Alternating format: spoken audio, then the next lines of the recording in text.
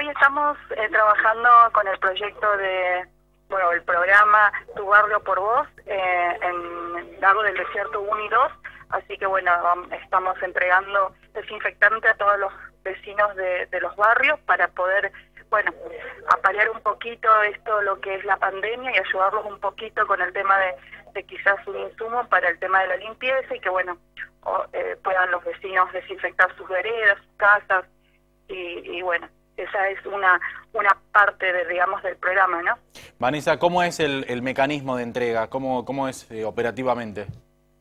Y nosotros, bueno, depende de la cantidad de gente que tengamos en cada barrio, por ahí vamos cambiando y vamos eh, saliendo en el momento, pero la idea siempre fue y va a seguir siendo eh, que la gente se quede en su casa y nosotros salir a repartir y, y bueno, y con el camión casa, eh, casa por casa a repartir el, el, ¿cómo se llama? El desinfectante.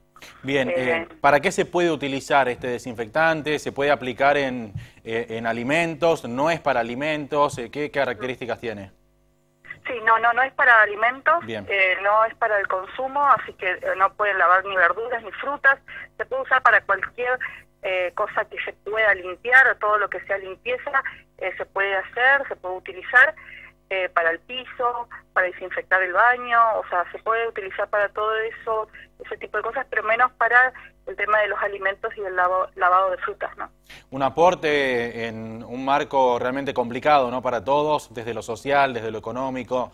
bueno, es un, un pequeño, una pequeña ayuda para aquellas familias que quizás muchas veces eligen comprar alimentos y, postergan quizá algún tipo de otro de, elemento, ¿no? Como este.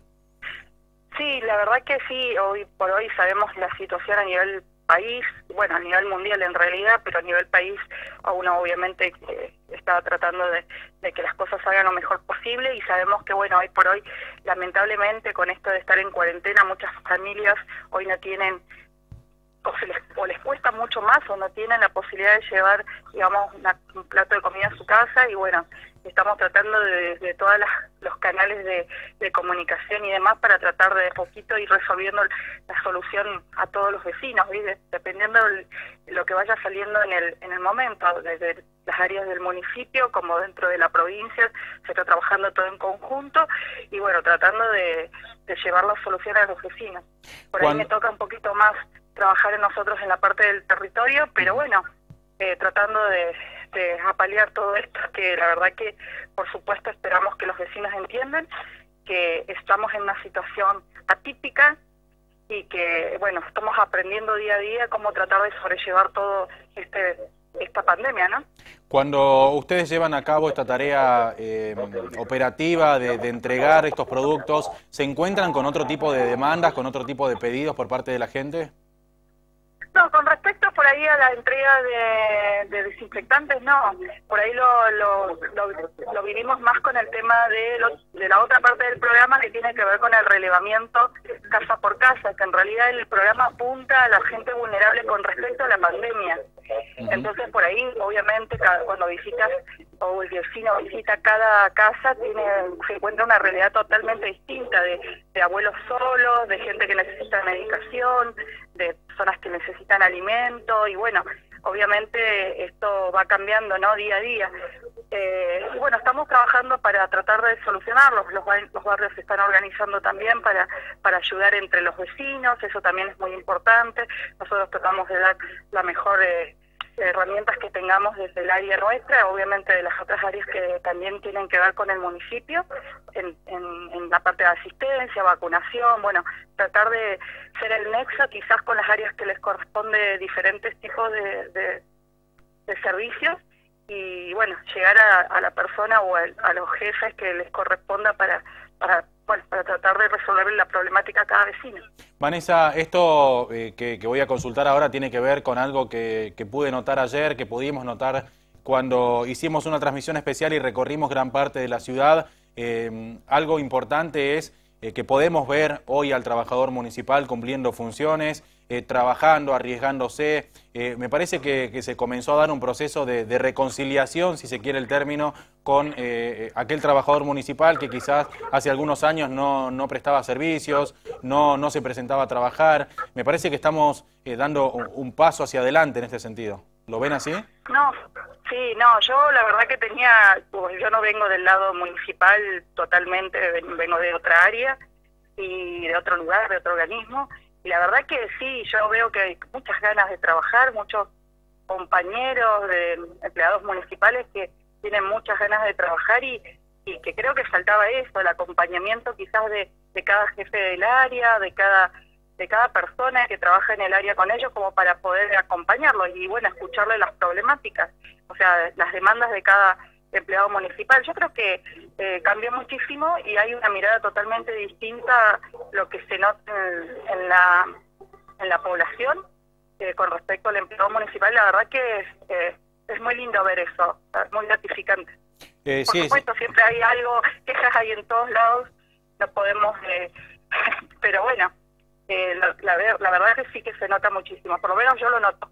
Sí, Vanessa, eh, me parece que, bueno tiene que ver con esto, ¿no? Con, un reclamo y una demanda de muchísima gente que históricamente siempre pagó sus impuestos y que bueno requería y, requiere ver justamente al, personal en las calles. Creo que hoy se está dando esta situación. Siempre hay excepciones, siempre hay trabajadores que por cuestiones de salud no pueden estar prestando sus funciones por, por distintas razones, pero digo, eh, la mayor cantidad de, empleados municipales se los ve trabajando y me parece que eso es algo, algo para, para comenzar a, aplaudir de alguna manera, ¿no?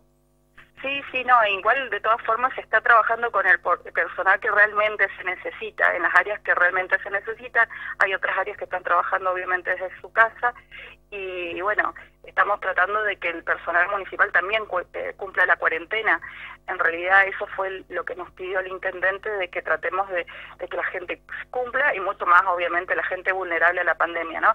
Pero que ellos tienen que estar en la casa. Pero después eh, se está trabajando con el personal reducido y con las áreas realmente que son más operativas y que se necesitan en Río Gallegos para tratar de, de no romper la, la cuarentena, que es importante también para, para todo Río Gallegos.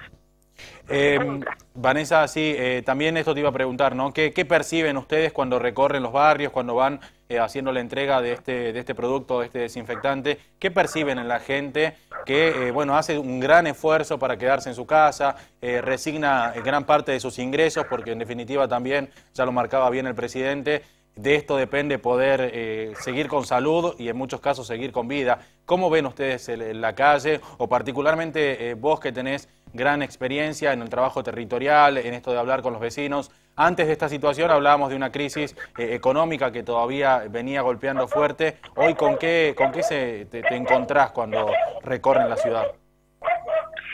la verdad es que la bueno, tenés de todo, tenés gente que, que está muy preocupada, que cumple realmente a rajatabla, y tenés, hay gente que por ahí no tanto, pero la verdad es que vemos que hay un gran porcentaje de vecinos que están cumpliendo, y por ahí capaz que eh, buscan la excusa para salir. Quizás ayer, eh, por ejemplo, nos pasó eso de que la gente eh, pensaba que teníamos que ir a, hacer cola para que vengan a buscar desinfectante, la idea era ir casa por casa y bueno, un poquito como que tuvimos en algún momento gente, viste, eh, que vino vino a hacer cola, viste, a hacer el, el, tema de pedir el desinfectante. No es la idea, nosotros no estamos pidiendo eso, pero bueno, hay cosas que les tenemos que manejar en el momento. Una vez que le entregamos a la gente que estaba eh, haciendo cola para el desinfectante, salimos de ese sector y bueno, empezamos con el recorrido que fue totalmente distinto y solamente se encargaron los manzaneros y la comisión del barrio.